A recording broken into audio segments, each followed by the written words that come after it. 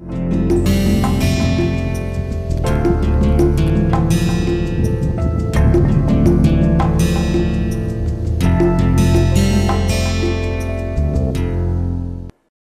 and welcome to this uh, lecture number 6 of the course Robot Motion Planning. In the, level, uh, in the last couple of classes we have looked at the basic background review of uh, mobile robots and uh, serial arms that is forward kinematics, inverse kinematics, transformations to give you an idea of uh, how robots move and how do we analyze robotic systems. Okay. Now using that knowledge we'll move on uh, from today to the formal study of the course Robot Motion Planning. So today we'll start off with the first and the earliest algorithms which were called the bug algorithms. Now, as the name suggests, bug algorithms means the, uh, the way bugs move around. Bugs means like ladybird, cockroach, you must have seen them moving around. So, that is where the idea of bug, bug algorithms came from. And uh, uh, these are the earliest algorithms. Okay, so we study our formal, uh, we start the study of our formal course today after the revision. Today also I'll briefly, quickly review what we had done in the last couple of classes regarding forward kinematics, inverse kinematics, and then we'll move on to the earliest bug algorithms. Now, as the name indicates bug algorithm, you can already see a bug uh, on the screen and it is showing that this is a ladybug and how the bug is moving from one point to another point. It has legs and it is moving forward in a straight line. Now, if there is an obstacle, the bug will avoid the obstacle and it will simply uh, go to the other side, avoiding the obstacle, right? So, the earliest bug algorithms were designed after looking at the way insects move in nature. Now, before we move on, let me very quickly go into forward and inverse kinematics. So in the last class, we looked at forward and inverse kinematics, and we said that if we have a two-link manipulator system like this, okay, this is two links for simplicity. This is my x-axis, y-axis, and this is my point xy. So in terms of the link lengths L1, L2, and the link variables theta 1 and theta 2, I can write this as uh, uh, x is equal to L1 cos theta 1 plus L2 cos theta 1 plus theta 2 and y is equal to L1 uh, sin theta 1 plus L2 sin theta 1 plus theta 2. Okay. Now in forward kinematics, I'm writing it in short by Fk, where we are given theta 1, theta 2, okay, say numerical value, some numerical value, and we are asked to find what is xy. Okay, this is my forward kinematics problem. Now it's very simple because in these two equations, equation 1 and equation 2, we can simply put the values of cos theta here, cos theta 1 and theta 2, and we can get uh, what is the values of x and y, right? So this is very, very simple. Whereas in inverse kinematics, that is ik, what we are uh, given is given xy of the end effector, find theta 1 and theta 2. Okay, this is a little bit more involved. Why? Because uh, you can see that the way this uh, terms appear, it is cos theta 1 plus theta 2. So, we cannot directly solve. Okay. And also there is the question of uh, multiple solutions. Okay. So, there are multiple solutions which are possible. So, in the last class we looked at the inverse kinematic solution of this two link arm and uh, we found theta 1 and theta 2. So, squaring and adding, so squaring and adding. Equation 1 and 2 we basically got uh, cos theta 2 where theta 2 was equal to. So cos 2 was equal to x squared plus y squared minus L1 squared minus L2 squared divided by twice L1 L2 okay and from cos theta 2 we got uh, sin theta 2 which is root, root 1 minus cos 2 squared and uh, then we use the atan function to get theta 2 was equal to atan uh, sine 2 and cos 2. This gave us the positive solution. Okay. And once you get the positive solution, what is the other solution? So it will become minus uh, theta 2 is one solution, the other solution, and then you have to find what is theta 1 dashed. Okay. And that we found geometrically by using geometry.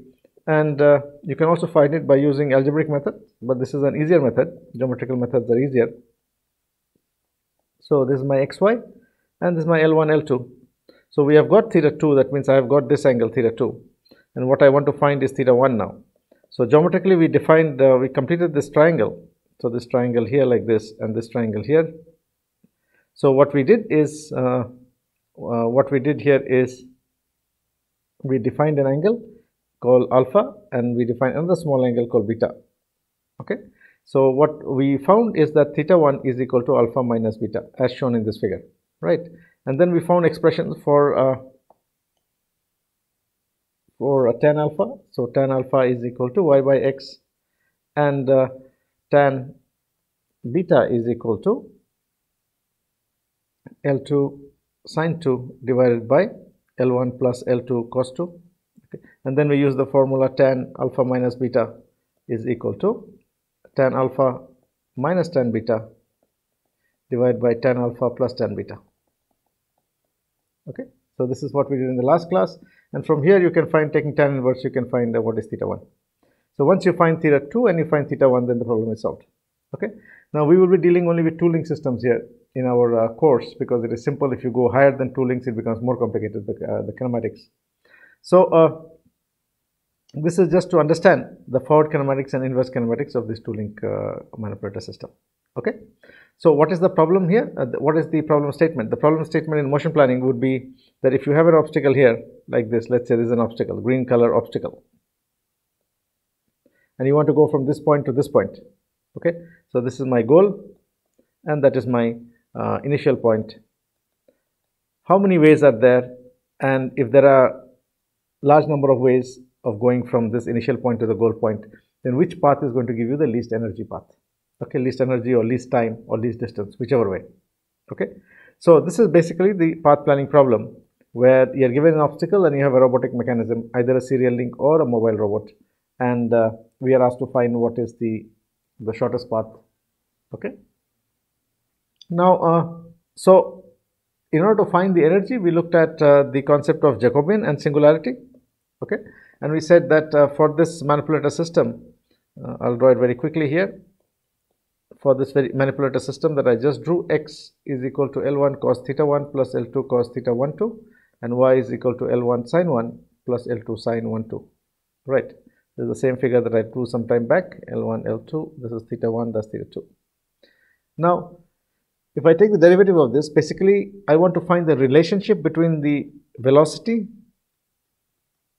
at end effector and joint velocity. Okay, so I want to find the relationship between the end effector velocity and the joint velocity. Why?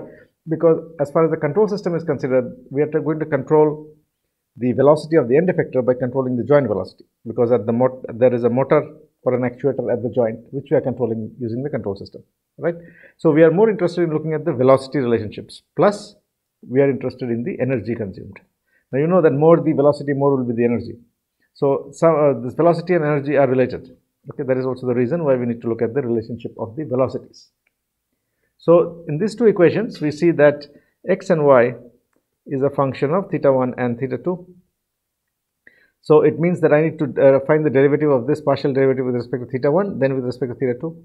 Okay, so if I do that, I get dx is equal to uh, minus L1 sine 1 minus L2 sine 1 2 minus L2 sine 1 2 and dy is equal to L1 cos 1 plus L2 cos 1 2 plus L2 cos 1 2 and uh, if I write in matrix form this is d theta 1 d theta 2 okay? Now uh, this is called the Jacobian. And uh, in this particular case it is a 2 by 2 uh, matrix. And uh, we can write it in short at x dot is equal to j into theta dot okay where what is x dot? x dot is the end effector velocity. And this one is the joint velocity. Okay now it is uh, you would understand that this ma this mapping is not one is to one mapping. What i mean by that suppose i give uh, i want uh, end effector velocity of 1 meter per second it doesn't mean that i will need a joint velocity of 1 radian per second. It will it's not 1 is to 1 okay? So what we are looking at is if i draw it this way so this is my joint velocity joint well velocity and this is my end uh, velocity. There is some mapping which goes on okay? So we are interested in looking at this mapping and this mapping is controlled by the Jacobian okay? So things like whether it is linear whether it's non-linear whether the mapping exists at all. For example in a singularity the mapping may not be there at all okay so what we are interested in is trying to find the minimum energy okay and we we saw that x dot is equal to j into theta dot and what we are interested in is theta dot is equal to j inverse of x dot. Why? Because we are interested in controlling the uh, velocity of the joint. That's how we control the robot, right? So, uh, what we see is theta dot is equal to adjoint of uh, j by determinant of j okay into x dot okay. Now this relationship shows us that if determinant of j is equal to 0 then uh, theta dot is equal to infinity. Okay. So as the determinant of j is going towards infinity uh, going towards 0 implies that theta dot is going towards infinity. Now going towards infinity means infinite energy which is obviously not possible okay? So these points are called singularities. So it serves two purposes. Number one is if you want to find the minimum energy requirement so minimum energy would mean maximize determinant of j directly right? So that gives us uh, one way. The other is minimum energy means stay far away uh, from singularity. So the as the nearer you come to a singularity, the more you'll have uh, your energy requirement will go up. Okay, and finally it will go to energy. Uh, it will go to infinity. Okay, so it serves these two answers of minimum energy. That first you have to maximize determinant, and then you can minimize the energy also by staying away from singularity. So, for example, uh, I'm just giving an example. If uh, there is a singularity, let, let me take the example of this two link manipulator okay so these are small and so the work volume of this will be something like this. Okay this will fold this much and here. So this is a boundary singularity. This is a, uh, this is also singular boundary singularity. So if you're trying to go in a path like this which is coming very near the singularity okay that will consume more energy. Whereas if you take a path which is going far from the singularity away from the singularity somewhere here then that is going to take minimum energy. It will take lesser energy.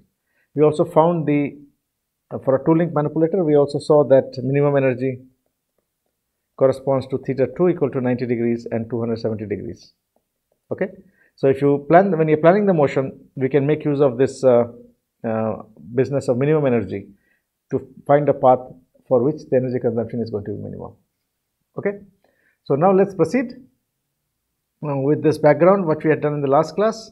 Now, as I said in the last class, please, uh, I'm doing it in very brief if you are interested in uh, lo uh, looking at more details of this, please uh, refer to the Introduction to Robotics course in NPTEL or look at the textbook where we discuss kinematics and uh, forward kinematics, inverse kinematics, uh, then uh, manipulability, determinant of J in more detail. Okay, here we are doing just how much we need. Okay, so we are going to study about serial arm robots and it will be limited only mainly to two degree of freedom system, at most three. Now, the other kind of robots that we are going to look at are uh, mobile robots. Okay, so mobile robots can be of differential drive type. Now, differential drive uh, robot is as shown here in figure A, where there are uh, this is a uh, robot which has two wheels and there is no connection in the wheels here. So, for example, this connection is not there. Okay, and each of the wheels is driven by a motor. So, motor here and motor here, they independently driven. Okay, now uh, we have a frame. This is my frame. This is the fixed frame or the reference frame. This is my x that's my y. Okay? Now it is making this what we do is from the center point of the two wheels we have an x-axis so let's call it the the the axis of the car the axis of the mobile robot. And this is making an angle of theta to the x-axis this is my x. Okay? So what we see here is that we can control this robot by looking at omega 1 omega 2 okay? By controlling omega 1 and omega 2 we basically control the position of this one that is my x and y. Okay? So x y and theta i need to control right?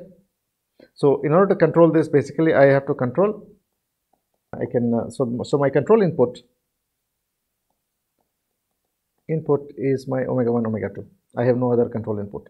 So with two control inputs i'm controlling three outputs now x y and theta. Okay? So this is one type so let's call it type, uh, sorry, let's call it type 1. This is type B. The same thing, I'm going to put a reference frame here. This is my X and that's my Y.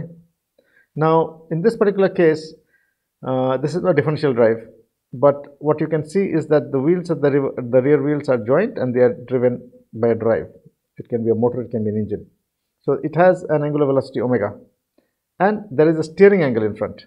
So this uh, wheel in front can be steered. So it is something like uh, the well, this is uh, the autos, the auto the auto rickshaws that are uh, that you see on the roads. Okay, so they have a they have a back uh, wheel drive, and then there is a steering in the front. Okay, so in this case also we have to fix our axis. Okay, so this is my x-axis and that's my y-axis, and uh, this is the coordinates x and y of the center of that point. Let's call it P.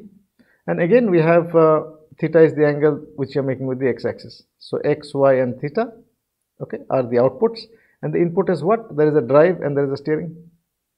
Okay, so let's call this omega and theta dot. Okay, so we have a drive and a steering, and both of this is controlling these three output x, y, and theta. But the structure of the vehicle is different. You can see that the rear wheels are both of them are driven, and then there is a steering in front.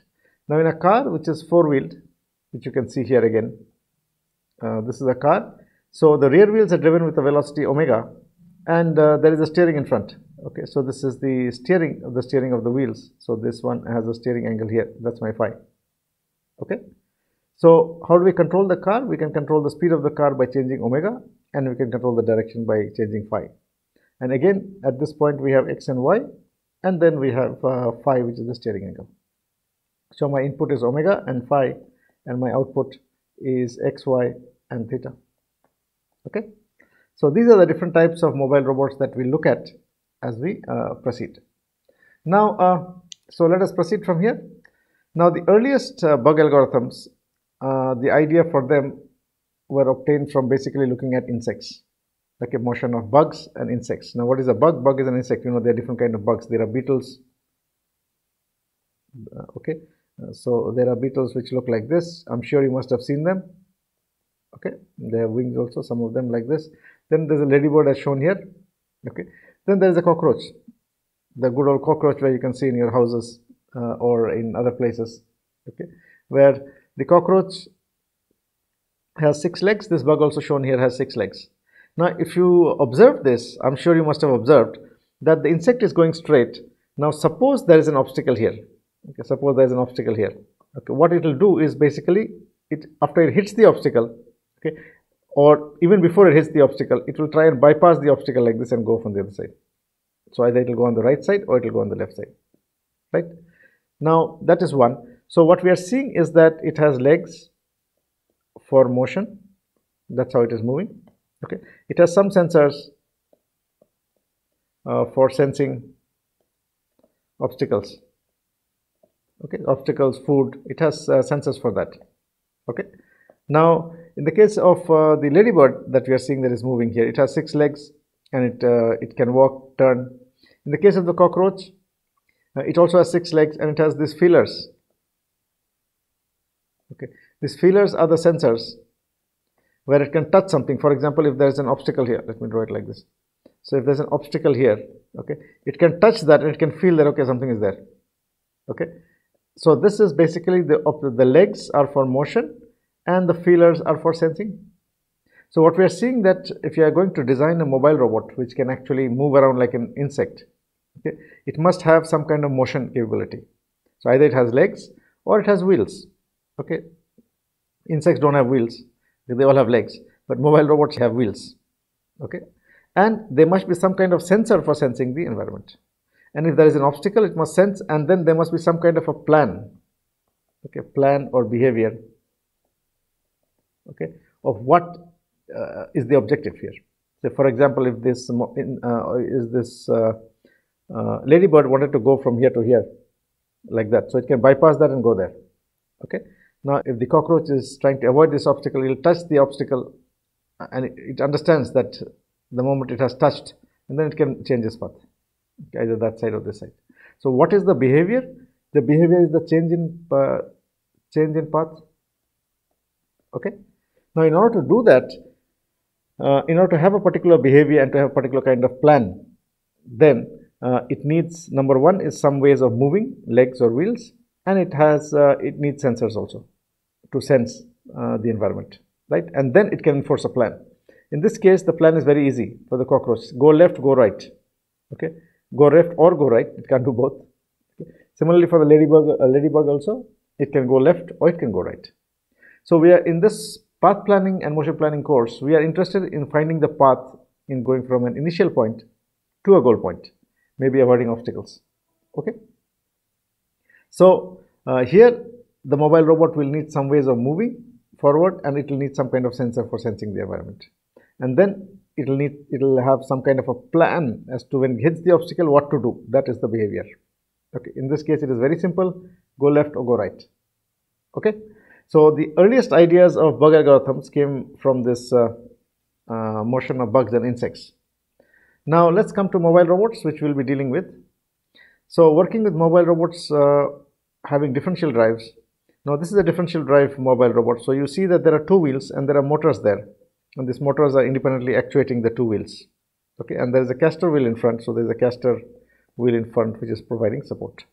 So this is similar to our uh, figure which we showed some time back that there are two wheels and there is a caster wheel here. So this is omega 1, omega 2 and it basically moves by controlling omega 1 and omega 2. In front there is an ultrasonic sensor.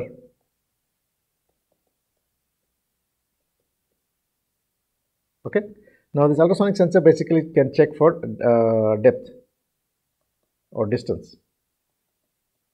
So if there is something in front it can sense that there is something in front and it can enforce some kind of a behavior. For example, go left, go right, okay? Or if there is something in front, just stop. Now this is controlled by, a, in this particular case, by a uh, Arduino microcontroller. So the behavior of this will be a program, okay, which will be written in the form of a program. And the behavior is going to be embedded in a program, okay? So these are the elements is a program. So the program is the one that is going to actually determine what the robot is going to do. So the program is the one that will find the path. So in path planning, our essential fun uh, function is to write a program or an algorithm that will enforce some kind of a behavior or a plan. Okay. So you might have been familiar with this kind of robots, which a lot of students make in high school these days, and they're available in supermarkets. So we can do motion planning, path planning with these type of very, very simple robots. Now uh, this shows the internal details of the mobile robot. So it has uh, uh, DC motors which are driving it and uh, in, in the previous one there was an ultrasonic sensor which is sensing uh, if there is an obstacle in front. In this one there is an IR sensor there. So IR stands for infrared infrared uh, sensors. So this also can check it can check for color. So for example this is using if you're following a line for line following kind of robots. Okay, so if you draw a line like this, say for example, I have a black line and I leave the robot on this black line. So what it can do, this infrared sensors can sense, okay, where is the, uh, the black line? Say for example, these are three infrared sensors. Okay, so you can have a logic to ensure that two, the center infrared sensor will always remain on the line. So the moment two of this comes uh, out, it immediately understands that it has gone left. So it has to actuate the wheels to go right. So that's the behavior of the robot now. Okay. So this is just to give you an idea of what the path plan actually does or what is our objective here. So there are different kind of sensors, there are actuators for the robot and we can enforce different kind of uh, behavior of the robot. Now very quickly looking at the ultrasonic sensor. So ultrasonic sensor basically works on the, uh, uh, has a ceramic transducer inside here which is basically a piezo. So piezo crystal, as you know, that if you give pressure, it will produce charge, and if you give it charge, it will produce uh, it is going to expand. Okay, so it will expand here. So what is done is that this piezo crystal is actuated at a particular frequency. Now this is uh, shown here. So the piezo crystal is being actuated at a particular frequency, and it is vibrating at the so this piezo crystal P, uh, crystal is uh, getting actuated at a particular frequency, and this is the ultrasonic frequency. Okay? So because it is vibrating at that frequency it is going to give out an ultrasonic wave. So the ultrasonic wave goes out from the front like this. Okay? So this is an ultrasonic wave. Now the moment there is something in front it will hit that uh, object and then it will come back. Now once it comes back it causes a pressure on the crystal and that pressure produces a charge. So depending on how much time it took to go and come back you can compute you know the uh, velocity of sound in air so you know exactly how much time what is the distance of the object from the sensor So this is the out signal, this is the in signal. So this is my in signal. So the distance from here to here is my del t, the time that it took to go and come back. So now you know what is the distance of the object. So these are ultrasonic sensors which are very simple and they are extensively used in mobile robots to check if there is some object in front to avoid obstacles. Infrared sensors, again, they can also sense uh, reflective surfaces. Okay. Now, in infrared sensor, there is an emitter. You can see there is an LED there which is emitting light and there is a photodiode which is a receiver. So, this LED gives off light and the reflective surface reflects this light, IR infrared rays and it comes back and gets uh, received here. So, exactly here also it can exactly figure out color of an object or reflective surface in front. Okay. So, IR sensors can also be used in mobile robots extensively. Now you can see ultrasonic sensors and IR are non-contact type. They don't touch. Okay, from far they can make out. So the robot can take, can enforce a behavior simply when it gets the signal input. So if, it, if the program receives a signal that there is something in front, so it can immediately change its behavior. Okay, it can try and avoid the obstacle. The other kind of sensors are the sensors which are contact sensors, like the one that you looked at with the with the cockroach. Okay, so we looked at, so in the case of the cockroach, we saw that, uh, so there is a stylus in front. So this stylus is there. The stylus is there for touching. Okay, it is very, very sensitive. It not only, it can sense not only obstacles, it can sense if there is food, if there is uh, chemicals, it can sense. It's like our tongue basically. And uh, with this, it can sense if there is an object in front and then enforce its behavior. So in this particular case, it has to physically touch the object in this uh, robot where you can see that this is a stylus. Okay, so it's a stylus, and if there is an object it is touching, what will happen is the stylus will bend. Okay, so if it was not touching, it would be straight like this. Now, because it is touching, what is happening is that uh, it is getting bent and there is an angle there. So, if there is a sensor here, we can use a potentiometer or an encoder, which will actually sense that the, the stylus is touching something. Why? Because it has bent. So, basically, you're looking at that angle alpha, uh, sorry, this angle theta okay so basically if it was not touching it will be straight okay? And if it is touching something it will immediately bend. So if it is touching something it will become like that it's touching. So basically this uh, this is being sensed okay? And based on that we know that there is something in front. This is also a very simple sensor for a robot to make and robots use this kind of sensors for touch the wall and follow the wall follow the object etc the other is a tactile sensor which is actually sensing the pressure. Okay, so there are different kinds of uh, uh, touch sensors or tactile sensors. So this one is a capacitive array. So if you touch, if this touches something, immediately what happens is there is a, a plus minus on top. So it is a grating like uh, on this side there are gratings like this. The bottom side there are gratings like this. So if it touches, what will happen is, oh, let me explain it like this. If it touches, what will happen? There is a plus and a minus. So there is one on top and there is one at the bottom. So it's something like this okay and there is a plus on top. So this is plus that's minus. So if you press it what will happen? This will get shorted. The moment it gets shorted uh, it is uh, something like a key on keyboard. As soon as this is pressed that part is shorted and it gets a signal. So the robot understands there's something in front.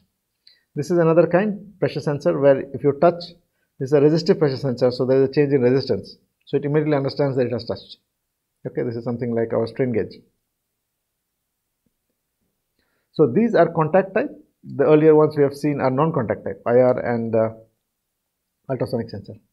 Now, depending on the kind of sensor we have, the kind of range of the sensor, okay, we will have to enforce different kind of plans. Now, uh, let's move on further and now come here to the bug algorithm. Now, what is the object of the bug algorithm? What is the objective of the uh, bug algorithm? The objective is to find a path. So objective, find a path from initial point to goal point. Okay.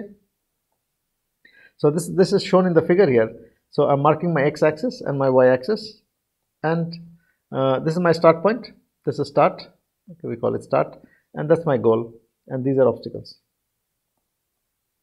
now a couple of uh, simplifications we make or assumptions we make The first is that the robot is a point robot. It has no physical dimension.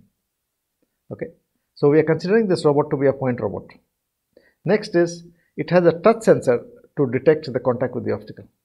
So the moment it makes contact with any obstacle, it knows that contact has been made. Okay. Now what is the objective? The objective is to find a path from the start point to the goal point. Okay.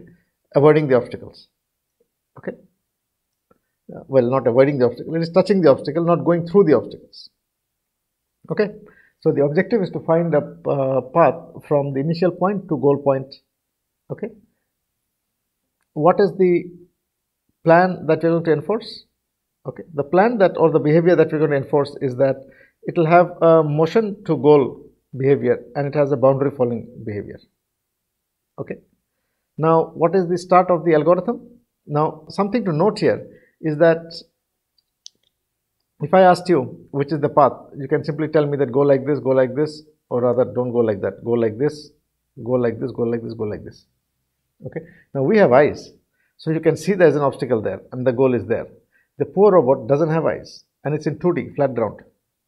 Okay. So for us, it is very easy to say where is the path. For a robot, for a program to find out, it's not that easy. Okay.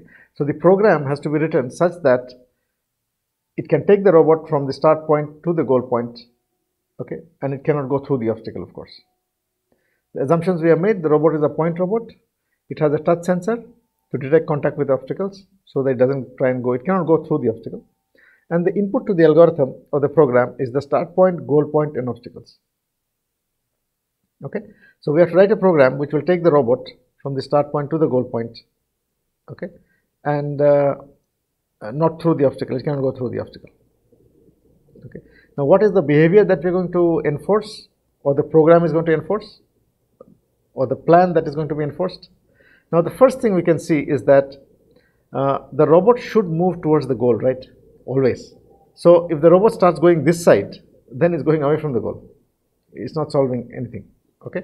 So, uh, the first thing is motion to goal behavior. So, the robot should have a motion towards the goal behavior. Okay. The second is it should be boundary following. Boundary following or rather obstacle boundary following because it cannot go, go through the obstacle, it cannot do that. So it should be able to follow the boundary or the contour of the obstacle. Okay, that is the uh, essential uh, plan for the uh, bug algorithm. So what are we given? We are given start point, end point, uh, sorry, goal point and the obstacle. Now the program has to enforce number one motion to goal and boundary following. Let's see how that is done. So here we have, uh, so in the first uh, algorithm, we have to reach a goal point from a start point avoiding the obstacles, right? So this is the problem that uh, we are looking at here now, okay? Now the robot is a point robot and it has a touch sensor, okay? So now we are supposed to write a program which will actually do a perform or execute this motion now. The first algorithm that we'll look at is the bug algorithm or the bug one algorithm. So there are different ways by which you can solve this problem. Okay, let's see how we can think of uh, solving this problem uh, logically. Okay, so we have uh, one here and we have another one there. Okay, obstacles. So these are obstacles. One, obstacle two. Okay, let's call this my goal point. This is my start point. That's my start point. Okay. Now, the first thing is that it should have goal following behavior. This is something we have seen. So, number one is that goal seeking behavior. That means it should always try to go towards the goal because I want to go towards the goal, right? It shouldn't go in some other direction. So, the first thing that we can do is we can connect the goal with a straight line. Okay, so we connect the goal with a straight line like this. Okay. Now, if there were no obstacles, it will probably follow the straight line and go there. Now, because there are obstacles, it what it does is it follows this straight line until it comes to the hit point. Okay. So we call this Q1 H. Q1H is the hit point on obstacle. So Q is the hit, Q1H is the first hit point of the obstacle. Okay. So we're writing a program where the robot is going towards the goal. You know the direction of the goal. It has been given. Now, as it is going uh, as we connected with the, the start point and the goal point with a straight line, we follow the straight line. The moment it hits an obstacle, we know that it has hit. It has touch sensor, so it knows it has hit. Now what it does is it circumnavigates the obstacle. Okay. So basically it goes round like this, like this, all round the obstacle. So it explores the obstacle and comes back here. Okay. So it explores the obstacle and then comes back there. Okay. Now, once it has explored the obstacle, now it knows that uh, this is the shape of the obstacle. Okay, the mobile robot has actually found out. Now, what it does next is it follows the, I'll just change the color here. So, this is next. What it does is it knows this is by Q1H now and it identifies the Q1L now, the Q1 leaf point. So, the Q1 leaf is the next point which is uh, here. I'll just draw it again. So, I did that, came back here. So, now it identifies the Q1 leaf point which is here. So, Q so my initial straight line point was like this. Okay. So now what it does is it identifies the Q1 leaf, Q1 leaf, Q1L stands the, le uh, the leaf point on this uh, circumference of the uh, on the of the obstacle. Okay. Now that Q1 leaf point is the nearest to the goal or the next obstacle. So whichever point point is nearest to the goal or it is nearest to the next obstacle that is the Q1L point. And from the new uh, Q1L point again it will continue. So how it will continue? The same thing it will do. It will do like this and then go here. Okay. The moment it has gone there, what it will do? It will circumnavigate once like this and come back here. Now it has seen the full obstacle. Now after it has seen the full obstacle, what it will do is this is my Q2 hit point. Then it will identify the point which is nearest to the goal. This is the point which is, so this is QL2, the Q2 leaf point. Okay. So this is the Q2L point. Okay. So now it has come here and now it goes here. So what it is doing is it is going like this. It is circumnavigating once, coming back to this point. Then it is finding the leaf point which is nearest to the next obstacle or to the goal. Okay. And then it is finding the path which is nearest to the next obstacle. It is circumnavigating again full round like this. Coming here, finding the point, the leaf point, and then it is going there and getting the goal. This is having goal seeking behavior. That is one. Number two is it can circumnavigate the uh, obstacle. Okay. So goal point and circum. Now, as I said before, this is a point. Robot is a point and it has no eyes, so it can see. It is simply, it's a program which is going to execute this motion. It will always go towards the goal and if it hits an obstacle, circumnavigate, find the leaf point which is nearest to the next obstacle or the goal and then uh, go to the obstacle, circumnavigate and then go to the goal in this case. Now this search is an exhaustive search and it is not fast. Why? Because it is circumnavigating each time. So if there's a long obstacle, you can imagine it will keep going all around the obstacle where it actually doesn't have to go do that. So for example, if the goal was somewhere here, okay, so that was my goal. Then it, for nothing, it will just be going round and round the obstacle and then it will come here, then find the leaf point and then go there. So, but this is an exhaustive search, which means that it has looked at all the possibilities. This is the earliest algorithm called the bug algorithm. Now you can write a very simple program which can do that because a point has coordinates x, y. And uh, when it is touching, you know that you know the uh, the circumference of this obstacle, right? So whenever x, y is hitting or touching that circumference, you can find out geometrically. So you know it has touched. Now you know the shape of the object, so you can circumnavigate very easily. You can find the uh, Q1L point, then go to the next obstacle. So this has to be done geometrically. Okay, so path planning is a geometrical problem. Okay, so let's, what does the algorithm look like? So start with uh, QL0, which is the start point. Okay, and then uh, the first thing is from QL, QL1 move towards to the goal point. Okay, until goal is reached or obstacle encountered at Q1 hit. So this is what we did. So you start off from the start point, go towards the obstacle. If you hit an object, okay, that is your hit point Q1H, okay. Follow the obstacle boundary by moving left or right. Now please note here that it is left or right. You can't do both. Okay, you cannot go left and right at the same time. And then until Q goal is reached or Q1H is re-encountered. Determine the point QLL leaf point on the perimeter that is the shortest distance to the goal. go to QL1 and then move forward. If you reach the goal, then exit. Okay, exit with, if move towards Q goal moves into obstacles, then exit with failure. Okay, so this basically means that uh, we are going to go to this obstacle, circumnavigate, find the leaf point, go to the next, and then uh, proceed that way. Okay, failure cases of this will it always work? Well, if there are objects which are enclosed objects like this, okay, this we can understand very easily that if you have an obstacle like this, and uh, you can see that you have a start point here, and you have a goal point there.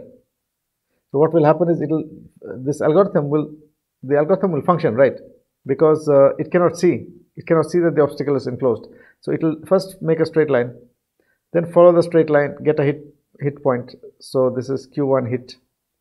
Circumnavigate like this, come back here. Okay, try to find the nearest point to the obstacle, and it, it cannot do that. So this will end in failure. Okay. So in this, uh, the algorithm will start by going towards the goal. It will hit the boundary. It will circumnavigate, come back here, try and find a point, a leaf point. But uh, Q1, the Q1L does not exist okay because it cannot go out there is to the uh, to the outer boundary there is no connection and there's no way it can go to the goal so this will be a failure uh, case okay so it should be able to say that there is no path next is uh so when you look at this whenever we look at uh, path planning algorithms like this okay the thing that comes to my, your mind is is there a better way of doing this okay is there a faster way so the faster way of doing this is the next one which is called bug 2. Now in bug 2 what we have seen in the previous case is there is uh, no need to really go round the obstacle all the time.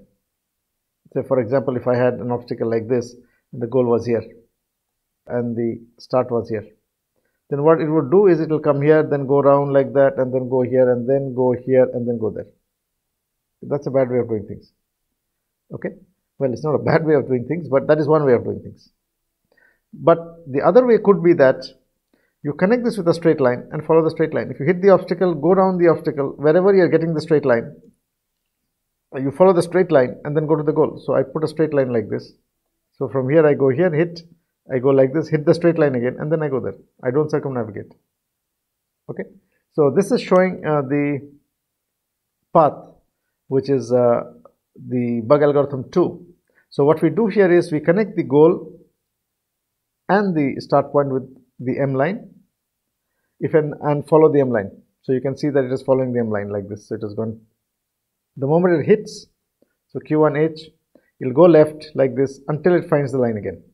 Once it finds the line again, this one becomes Q1 leave. It goes there, it becomes Q2 hit. Okay. And from Q2 hit, it circumnavigates, it goes on the left side like this and gets that and goes there. Okay? This was much faster because it did not circumnavigate. Okay? So this is bug 2 algorithm uh, where we follow a line which is called the M line. The moment you hit the obstacle you circumnavigate until you hit the line.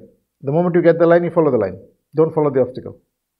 Okay? And then go to the obstacle. Once you hit the obstacle again then go to the uh, find the line again and then go to the go to the goal point. Okay? Now this is uh, faster. Now you can see in this particular case also from the start point to the goal point, connect with a straight line, follow the straight line, come like this, follow the uh, obstacle boundary, come like this, hit the point and go to the goal. Okay. Now this is the bug algorithm 2, the program, okay, the logic. So in all the, when you're writing a program, okay, there is a plan, okay, and there is some kind of a, logic uh, logic let, let me call it a logical plan. We start with q1l okay so q1l moves towards the goal along the m line. So we fix an m line first. And then from the first leaf point which is the start point so this is my start point it goes to the goal point eh, following the m line the moment it hits an obstacle okay if goal is reached exit. Now if goal is not reached then follow the boundary move left or right. Okay left or right. You have to choose one you can't do both. So go left or right until you hit the m line again. The moment you hit the m line follow the m line again until you reach the goal or you reach the boundary. And then follow the boundary again hit the m line and then go to the goal, uh, goal point. Okay? This is basically uh, the bug algorithm 1 and bug algorithm 2. Now bug algorithm 1 is an exhaustive search. Okay, it is more complete.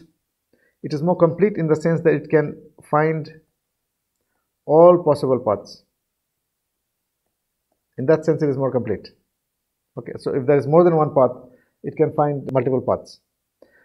Now, bug 2 is what we call a greedy search algorithm in the sense that uh, it is an opportunistic search.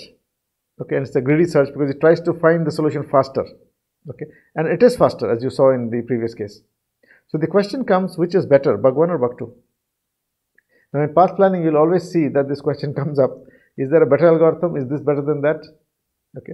Now it would depend on the situation or case to case, it depends. Okay. So it would just appear to us that bug 2 is better, but you'll find that uh, that is not so. It depends on the situation now. So let's look at this now. So in this particular case, comparison of bug 1 and bug 2, the obstacle shape in which bug, uh, bug 2 does better than bug 1. In this particular case, as shown on the left. Okay. So what we are given is the goal here and we are given a start here. So it goes straight, gets the M line. So let me draw the M line it follows the M line, hits the obstacle, circumnavigates, hits the M line again, again then goes like this, like this, and then goes to the goal. So this is faster. Okay. Whereas if I was doing this with the bug one algorithm, then what it will do is bug one will go here, then it will go circumnavigate like this. Okay. Then it will go back here, it will go there, then it will circumnavigate everything here, then go here, then go there. Okay. So bug, uh, bug one is the green line and uh, bug two is the blue line. So we can see in this particular case that bug 2 is faster. Okay. What about here? Now in this kind of a situation, we want to go from here to here. There, that's my straight line. Okay. Let me follow the straight line and see what happens. Okay. So I'm following the straight line and let us see what happens here. So I go straight like this. I hit the uh, I hit the obstacle. Now I go like this I go like this, I go like this, I go like this, like this, like this, I hit the obstacle. Okay. Now I can come back like this, like this and come back here again. That is one option. Okay. The other is I have my straight line like this. Okay. Remember you can go left or right only. You can't do both. So here what we do is it, it follows the line straight, then it goes left like this, it goes here, here, here, it hits the line hits the line again comes like this come like this come like this like this like this and is back here again so it appears that it got trapped in some way so in this particular case bug 1 will beat bug 2 so if you look at bug 1 what will happen in bug 1 is it is going to circumnavigate all of this and then find the path from here and then find the shortest path. Okay?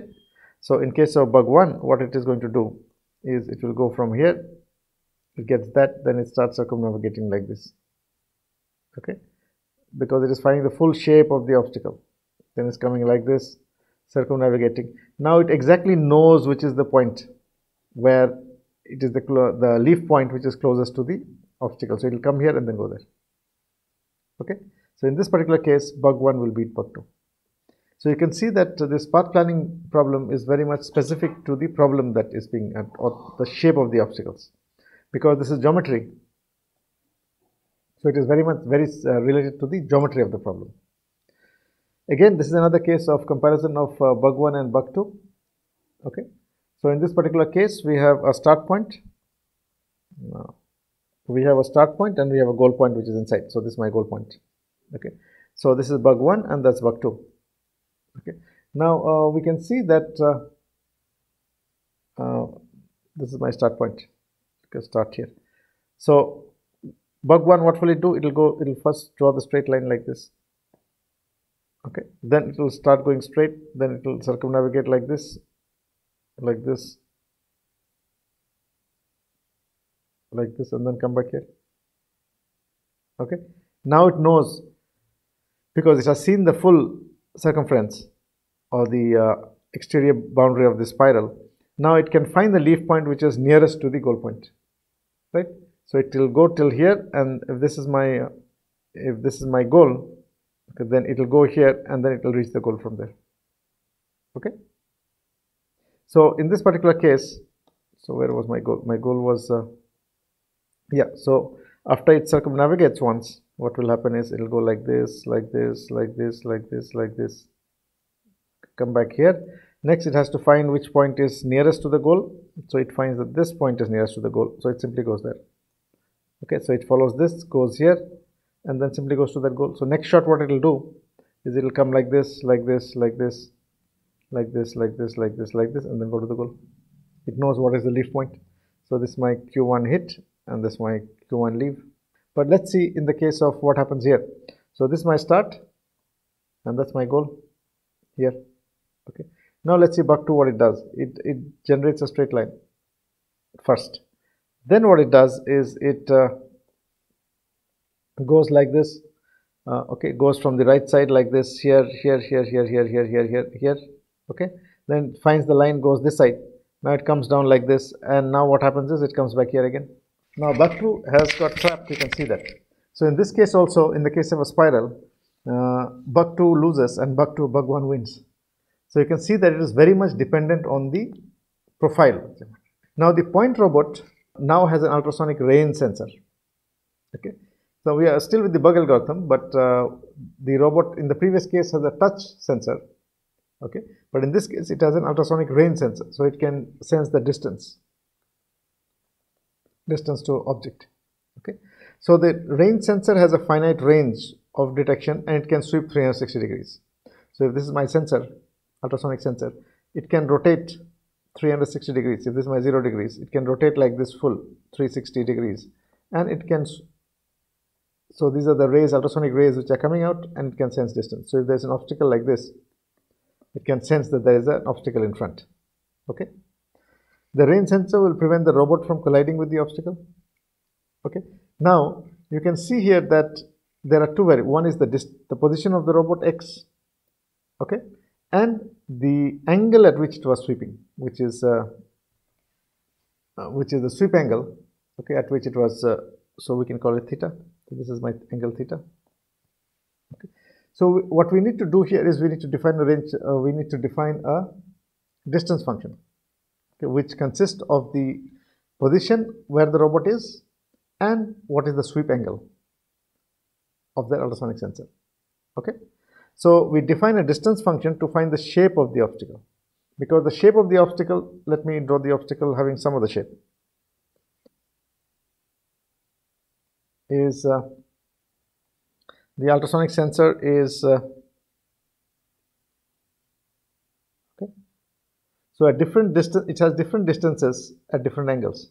So the robot X is the same X, but at different angles, at different thetas, you can see that the distance that it is getting of the obstacle is different. Why? Because the obstacle has a particular shape. So basically this rho is what is going to give us the distance function. Okay. So for the same x for a different theta, it will give you a different distance. And the distance function is defined as rho x theta, where x is the coordinate of the robot.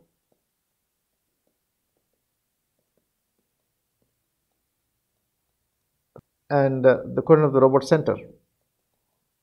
And theta is the angle of sweep. Okay, of the sensor. Okay. So this we are seeing that we are using ultrasonic sensor now. Now depending on the range of the sensor and what is the sweep angle of the sensor you will get a difference distance reading now. Okay depending on the shape of the object now.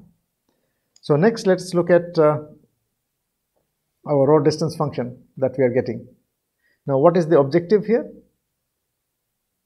uh, the objective here is that we need to find out what is the shape of the obstacle.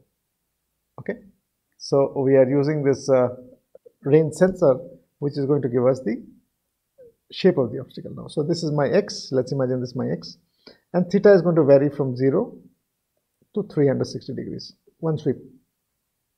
And this is the shape of the obstacle that we are getting. Now the shape of the obstacle basically is a function of the distance now. Okay, the distance I mean the this ray, the length of the ray if I say. Okay, so this is what is giving me the shape of the obstacle now.